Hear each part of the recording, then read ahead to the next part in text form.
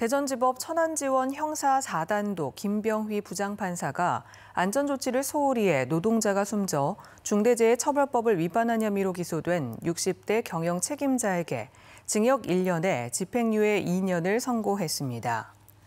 아산의 한 패널 제조업체를 경영하는 피고인은 안전조치를 소홀히 해 지난해 7월 40대 노동자가 기계에 신체가 끼어 숨지게 한 혐의로 재판에 넘겨졌으며 함께 기소된 공장 관계자들은 각각 징역형과 금고형의 집행유예를 선고받았습니다.